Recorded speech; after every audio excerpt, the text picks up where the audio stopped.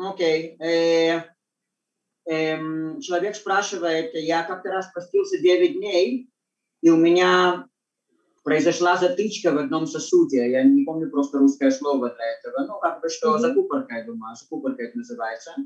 Э, вот, это один вопрос. А второй вопрос, э, что ты эм, думаешь по поводу уринотерапии? Ну, э, поводу уринотерапии, я думаю, что если из, из нашего организма что-то выходит, то это должно выйти. Это не должно попадать внутрь обратно. Это уже отходный материал.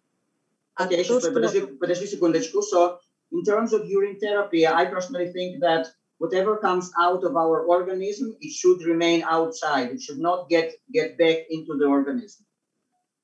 Ага. А то, что касаемо э, то, что отошел тромб, это действительно бывает. И именно поэтому в марафонах я очень, э, очень четко ребят веду и рассказываю им, что нужно делать, чтобы таких ситуаций у нас не происходило.